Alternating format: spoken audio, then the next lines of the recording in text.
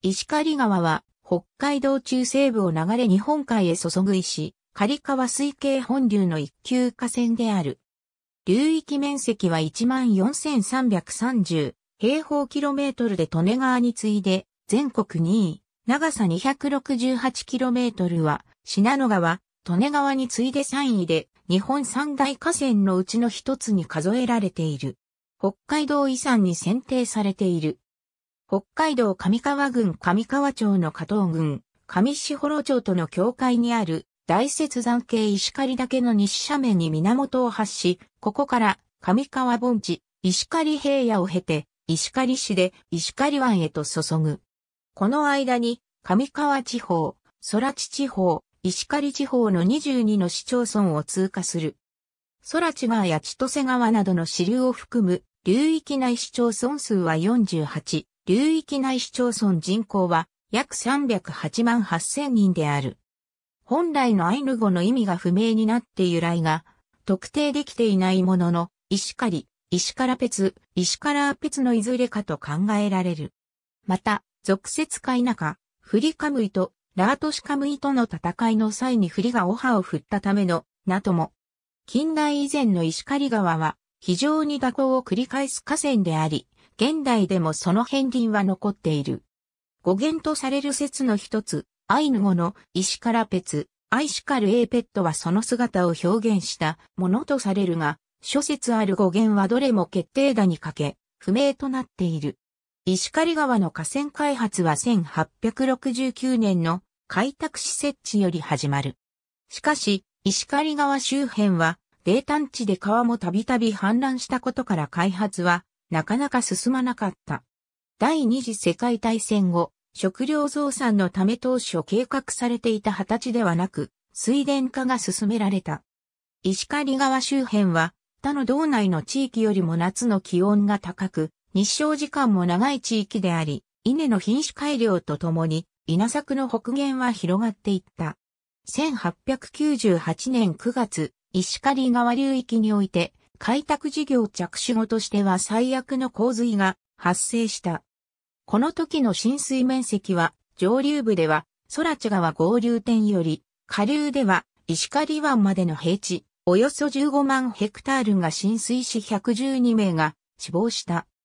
事態を重く見た、当時の河川管理者である内務省は、翌月には、北海道治水調査会を設けて石狩川の治水の方向性を探り、治水計画を策定した後、翌1899年により、第一期北海道拓殖計画に基づいた石狩川の治水事業に着手した。この石狩川治水事業の中心的役割を果たしたのが岡崎分吉である。岡崎は石狩川の水調査を行う一方で、欧米諸国の河川工事、管理状況を視察。その中でアメリカ方式の自然を活かした治水方法を石狩川に採用することとした。これは、岡崎の自然主義と呼ばれ、現在千歳川で見られるヨーロッパ型の河川整備に通ずるものがある。大規模な人為的改変を加えず、水防林や堤防整備、護岸補強を行うことで自然を最大限残しながら治水事業を行うことを理想とした。また、洪水時の水位を下げるために放水路を建設し、洪水調節を図ろうとした。1910年石狩川治水事務所が設置され、石狩川第一期治水工事事業がスタートした。岡崎は事務所長として自身の理念に沿った形で河川改修を始めた。最初に取り掛かったのは生ぶりとシノロを結ぶ放水路事業であった。この際も石狩川本川には可能な限り手を触れず、放水路による洪水調節を目指したが予想を超える冷淡地が工事の行く手を遮り、難工事と財政難に悩まされるようになった。難航を極めた治水事業を促進させるために1917年に内務議官、沖野忠夫が派遣されるも、これが岡崎の自然主義治水事業を転換させる契機となった。沖野は1897年より実施された淀川修築工事の総指揮を取った人物で、新淀川開削や大阪高築港などのプロジェクトを手掛けた当時河川工学分野での第一人者であった。だが、沖野の治水思想は河川に対し大規模な改修を加え、治水に供するフランス流河川工学であり、その根幹となるのは新淀川改作でも見られた河川ショートカット工法であった。この沖野の都市水路主義は当然岡崎の自然主義とは相入れず、両者は真っ向から対立することとなる。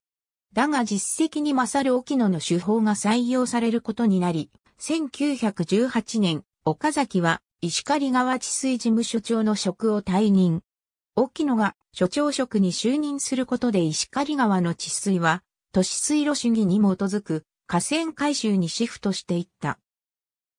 1922年10前は千歳川に合流していた夕張川を石狩川に直接合流させる夕張川新水路工事が始まり、1936年に完成した。これにより蛇行していた夕張川は直線化され、従来の稼働は旧夕張川となった。石狩川本川では、石狩川川口から江別までの区間における早、水路工事を実施し、下流部の直線化を図った。また、札幌市内を細かく蛇行しながら貫流していた豊平川も早水路を設置して直線化した。続いて1934年より実施された石狩川第二基地水工事事業においては、滅井川に合流していた幾春別川を夕張川と同様に直接石狩川に合流させる幾春別川新水路工事を開始。1921年より実施した美梅川新水路工事とともに三笠市、岩見沢市の治水を図った。石狩川本川の早水路工事は、江別から月型、さらに上流へ向けて、堤防整備とともに実施されたが、太平洋戦争によって中断された。この沖野による都市水路工事主体の河川改修により、石狩川本川は、改修前には 364km あった流路延長が 100km も短くなり、蛇行部分は大幅に減少した。これによって洪水の流下が促進され、洪水による淡水被害は大幅に軽減。泥炭地の淡水が解消されたことで、その後の大規模開拓につながる農地開発が次第に手掛けられていった。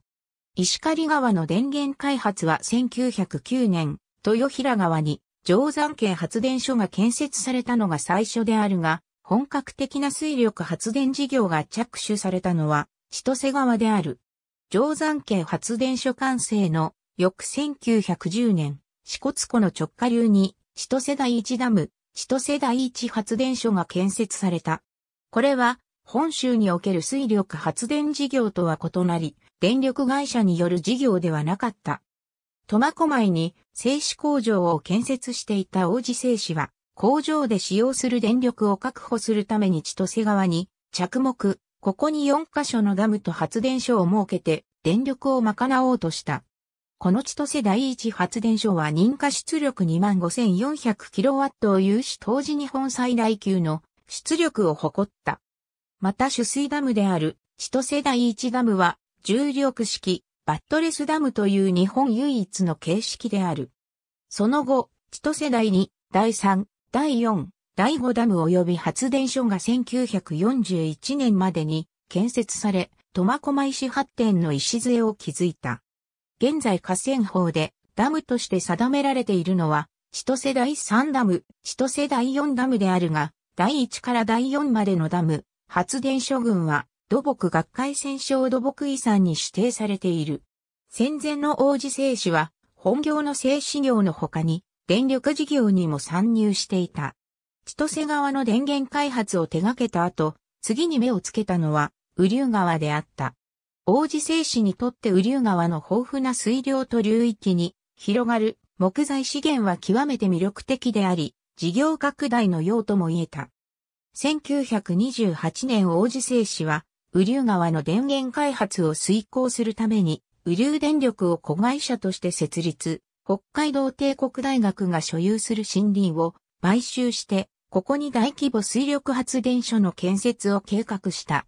これが、雨竜第一ダムと雨竜第二ダムであり、雨竜発電所にて、千歳発電所の倍にあたる認可出力5万1000キロワットの電力を供給させようとした。当時のダム地点は、うっそうとした原生林であり、交通の便が悪かったため、深川からダム現場を通過し、名寄を結ぶ新名線の整備に着手。開通後本格的なダム、発電所建設に着手した。ところが建設に着手して間もなく、電力統制策による日本発送電が設立され、宇流電力は強制的に解散、統合された。これ以降は日本発送電札幌支社による建設事業が進み、ダム、発電所は1943年に完成した。雨竜第一ダムによって形成された人造湖が朱鞠内湖であり、完成から63年経過した現在においても、日本最大の淡水面積を持つ人造湖として記録が破られていない。なお、雨竜第一ダムの建設に際し、強制労働やタコ部屋労働といった劣悪な環境で建設に従事した労働者が多く存在しており、戦時下における負の記憶として残されている。戦後、日本初送電が1951年に分割された後、北海道全域の発送電、配電事業は北海道電力が継承した。北海道電力は引き続き石狩川水系における電力開発を進め、1960年代初頭には石狩川本川上流部に大規模なダム式発電所の計画を立てた。これは上川郡上川町に包み高118.2メートルの中空重力式コンクリートダムを建設して有効貯水容量1億4100万トンを有する巨大な人造湖を作り、この莫大な水量を利用して発電を行うというものであった。このダムは計画当初、大雪ダムと呼ばれ、1964年時点では石狩ダムと呼ばれていた。だが、後述する石狩川水系総合開発計画の中で治水及び農地灌漑に資するため、北海道開発局が事業に参画。石狩ダム計画は1965年の石狩川水系工事実施基本計画により、北海道開発局が事業主体として行う大雪ダムに継承された。現在、石狩川水系では、滝里発電所が最大の規模を誇る発電所であり、揚水発電所や出力が10万キロワットを超える大規模水力発電所は建設されていない。ただし開発は現在も行われており、2007年には中別ダムに付設された新中別発電所が稼働する。戦後の石狩川の開発は1949年の北海道開発庁設置と現地執行機関である北海道開発局の設置で幕を開ける。建設省、運輸省と農林省の機能を統一させ、効率的な総合開発を図るために設置され、翌1950年には北海道開発法も制定された。これ以降、北海道総合開発計画の下で、石狩川水系における河川総合開発事業、国営農業水利事業も進められてゆく。なお、北海道開発局は、省庁再編に伴い国土交通省の下部機関となっている。戦前に進められていた治水事業は引き続き進められていた。だが、戦後の治水は、物のべおさおの提唱した河水統制事業の流れを組む河川総合開発事業が主流となり、その根幹事業である多目的ダム建設が全国で盛んに行われていた。背景には連合国軍最高司令官総司令部の民生局所属の官僚がニューディーラーで占められていたこともあり、河川総合開発のモデルであった TVA 方式の治水が進められていたこともある。こうして石狩川水系でも多目的ダムによる治水対策が重要視され、1951年には、育春別川において、育春別川、足別川総合開発事業に基づく、北海道初の多目的ダム、桂沢ダムの建設が着手された。これには、水力発電事業として、電源開発株式会社も参加し、空地川の左支線である足別川上流に足別ダムとキムンダムを設け、そこから水路を通じ、発電用水を育春別側に導水し、三笠、歌市内の炭鉱地帯への電力供給を図った。桂沢ダムは1957年に完成し、これ以後石狩川の主要支線にダムが計画される。1953年には河川海底改修計画の石狩川版にあたる石狩川改修全体計画が策定され、戦争で中断していた月形台北の早水路と堤防整備を行う一方、石狩川最大の支流でありながら、河川整備がほとんど未改修であった空地川への多目的ダム建設が計画され、南富良野町に金山ダムが1959年着手され1967年完成した。金山ダムは北海道唯一の中空重力式コンクリートダムでもある。だが、全体計画が策定された後も1961年と1962年の2年連続にわたり水害の被害を流域が被った。このため全体計画は1964年に改定されたが、翌1965年に新河川法が施行され、石狩川水系は一級水系に指定されたことから、再々度の計画改定が実施された。この石狩川水系工事実施基本計画によって、ダムと河川改修による洪水調節が図られ、これに基づき石狩川本川唯一の多目的ダムである大雪ダムや石狩川、本川最後の早水路事業となる砂川都市水路、中別ダム、豊平京ダム、伊ザ川ダムといった特定多目的ダムが建設され、北海道も補助多目的ダムとしてビバイダムを1969年より着工した。さらにホロムイ川の夕張川への合流工事や、旧育春別川の育春別川からの締め切りなど、稼働改修も並行して行った。ところがこうした努力を、あざけ流化のように1975年と1981年、石狩川はなおも大水害をもたらした。特に1981年の水害は、浸水面積6万1400ヘクタール、浸水個数約2万2500個という過去最悪の水害であり、石狩川の本川、支流で氾濫が相次いだ。特に多目的ダムがない雨竜川、夕張川、千歳川での被害が激しく、長期間にわたって浸水被害を与えた。これに対し開発局は基本計画の全面改定を行い、旧計画の倍にあたるピーク時洪水流量を基本高水流量とし、これに対応する治水対策を計画した。主なものとしては、滝里ダム、定山系ダムといった新規ダム計画に加え、桂沢ダムと大夕張ダムのダム再開発事業、遊水地、放水路、早水路、築堤、春節、川底掘削とあらゆる方法による治水対策を実施、計画した。現在はダム再開発事業に基づく桂沢ダム再開発と大夕張ダム再開発が行われている。特に夕張シューパロダムは2012年に完成すると北海道最大日本屈指の多目的ダムとなる。北海道も補助多目的ダム事業として東別ダムや徳富ダムが現在建設されている。河川総合開発と並行して強力に実施されていたのが農地開拓である。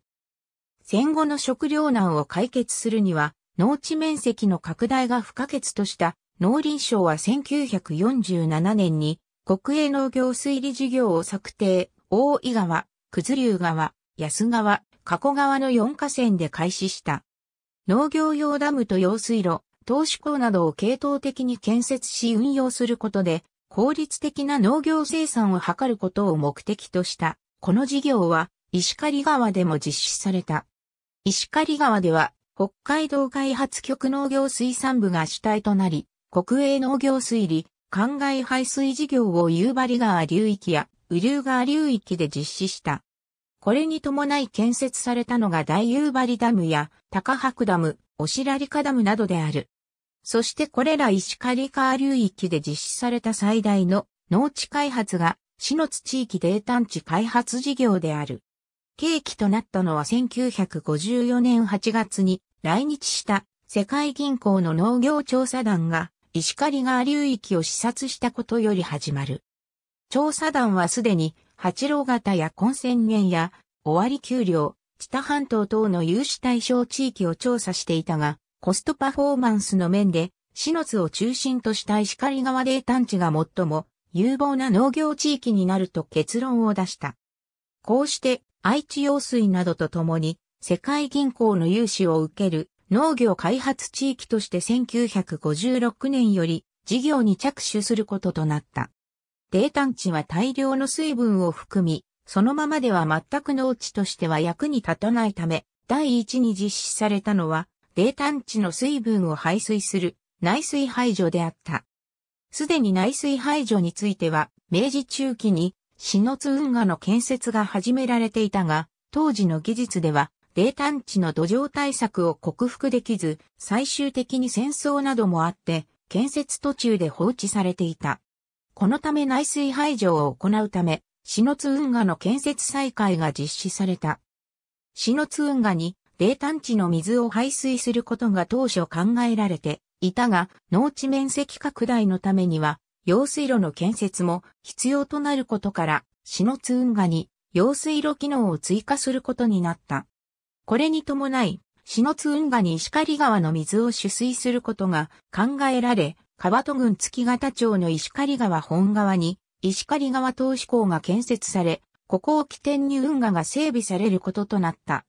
また、用水補給を強化するために、支流の東別川最上流部に1963年、青山ダムが建設され、灌漑用水が篠津原野に補給されることとなった。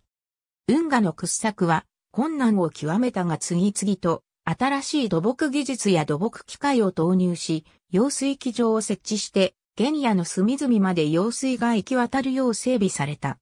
こうして、市の地域泥炭地開発事業は、着手から15年の年月を費やし1971年に完成した。農地として不適であった広大な泥炭地を農地に転換する事業は国内外でも例がなく、世界の農地改良事業におけるパイオニアとなった。現在は1万1000ヘクタールに及ぶ水田となっており、キララ397の工作をはじめとした北海道屈指の穀倉地帯に変貌している。このように石狩川水系は明治時代から現在に至るまで様々な河川整備が実施されたわけであるが、近年の環境問題への関心の高まりと公共事業に対する見直し論議の風潮は全国の河川総合開発事業に多大な影響を与えた。石狩川水系も例外ではなかったが特に注目されたのが千歳川放水路計画である。千歳川は先日のように水力発電開発が先行し、治水は大きく立ち遅れていた。本川にはダム建設の適地がない上陸地より千歳川の水面が高く、堤防を建設しても出水によって容易に水害を起こす河川であった。さらに下流部では河川勾配が緩やかで、地形的に石狩川本川の河水が流入しやすく、洪水の際には長期間淡水被害を生じる。このため2年から3年に一度の割合で、浸水被害を伴う水害を流域にもたらしており、1981年の水害では最も千歳川流域の被害が大きかった。すでに1980年支流のイザリ川にイザリ川ダムが完成していたが、下流の淡水被害を抑止するためには放水路による洪水調節が最善であると考えた北海道開発局は1982年の石狩川水系工事実施基本計画の全面改定時に千歳川放水路計画を盛り込んだ。3万年前の旧石狩川流路をベースに太平洋に洪水を放流し、石狩川の下水侵入を水門で防御する計画である。だが、放水路の建設予定地は、ウッド内湖を含む湿地帯があり、貴重な動植物の宝庫であることから、自然保護団体や千歳川の漁業協同組合が猛烈な反対運動を展開し、流域の治水安全度を高めたい、千歳市などの流域市町村と対立した。事業はそのまま全く膠着化し、事態の打開を図る必要性に迫られたことから北海道は、千歳川流域治水対策検討委員会を1997年に設置。賛成派、反対派双方の意見調整と治水対策の検討を議論した。その結果1999年7月、委員会は事業主体の開発局に対し、放水路計画の中止を諮問、河川行政を管轄する建設省は、千歳川放水路計画の中止を発表。遊水地を併設した堤防増強を主体とした総合治水対策を行うこととなり、2005年に石狩川、水系千歳川河川整備計画に正式に盛り込まれた。この治水対策はヨーロッパが現在行っている治水対策に限りなく近い。広大な北海道だからこそ可能だとの指摘もあり、本州の河川で実現可能かは疑問の声もある。だが河川にできるだけ介入せず、治水対策を行う。この手法は、岡崎文吉が目指した自然主義に通じ、近年の環境保護思想の高まりもあって、岡崎の治水思想は再評価されている。国土交通省も今後の治水対策の一環である自然化工法を治水手法の一つとして検討しており、今後この手法が北海道外の一級水系で採用される可能性はある。ダム事業に対しても公共事業見直しの機運から事業中止のダムもあり、千歳川の右支線であるケヌフチ川に計画されていたケンフチダム建設事業が中止されている。これは包み高44.4メートルのロックフィルダムであるが、包み町が1174メートルあり、総貯水容量は1億3510万トンを要する巨大ダム計画であった。北海道開発局農業水産部による国営道央灌漑排水事業の中心事業として計画された日本最大の農林水産省直轄ダムで上水道、工業用水道目的も有する多目的ダムであった。この他農林水産省直轄ダムとしては、北海ダム建設事業が中止している。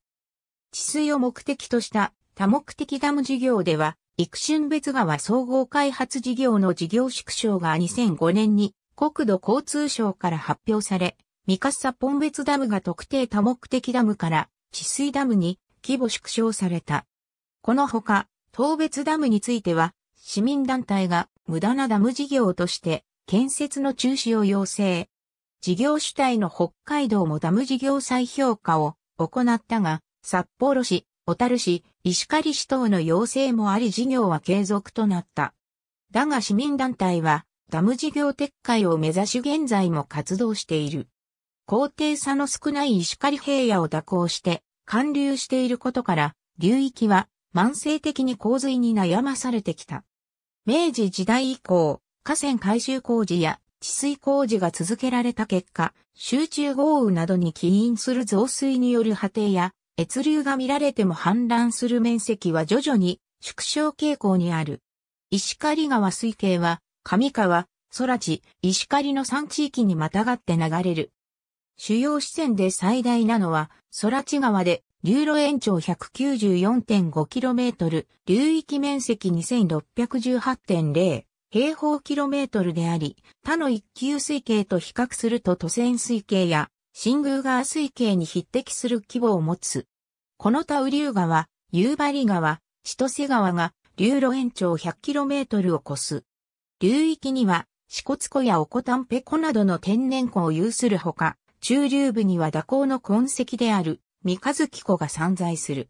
また、旧美梅川や旧夕張川のように、旧流路がそのまま残っている河川もある。札幌市、旭川市、千歳市、岩見沢市など、北海道数葉部の都市が流域に点在し、それら都市の活動を支えている。括弧内の故障は人造湖を示す。その他の支流石狩川水系の一級河川、石狩川の河川施設は、北海道総合開発計画に基づき、北海道開発庁の現地執行機関である北海道開発局によって事業が計画、施行されているが、大別すると灌漑事業と治水事業に分かれる。灌漑については、北海道開拓史以来の事業である農地開拓に基づくものである。戦後農林省は1947年により、全国各地で国営灌漑排水事業や国営土地改良事業を施行。石狩川水系でも開発局農業水産部によって夕張や篠津等多くの地域で実施されている。このために農林水産省管轄の灌漑用ダムが大小様々建設されている。一方治水事業は建設省が河川総合開発計画をもとに全国の一級水系において多目的ダムによる河川開発を進めていたが、開発局建設部により石狩川水系の治水と札幌市、小樽市、千歳市、旭川市等の北海道主要都市に上水道を供給するため、石狩川本川をはじめ主要な支線に特定多目的ダムを建設し、対処している。ただしこれらの多目的ダムは、特定多目的ダム法に基づく建設大臣の直轄管理施設となっており、北海道開発庁は管理をしていない。この他北海道建設部も補助多目的ダムを各所に建設している。水力発電は王子製紙株式会社による千歳川水系の開発。北海道電力株式会社による石狩川、総雲峡付近と雨竜川の電源開発を除けば、小規模に止まり、揚水発電のような大規模電源開発は行われていない。これは、電力需要が首都圏や京阪神に比べて多くないことに起因する。ここでは4基準水位を持つ観測所を記述している。石狩川下流の江別市にある王子特殊市江別工場及び上流の旭川市にある日本製紙旭川工場で製紙プラント用の工業用水として利水される。水源側から記述する。市町村名が2つあるものは、順に、左岸、右岸。石狩川は、北海道東別町出身の作家、本庄睦夫の書いた長編小説。戊辰戦争に敗れた仙台岩出山師範、伊達国直の主従が北海道に渡り、石狩東別の開墾に苦闘する姿を描いた。本城は肺結核と戦いながらこの作品を書き上げ、発表の2ヶ月後にこの世を去った。ありがとうございます。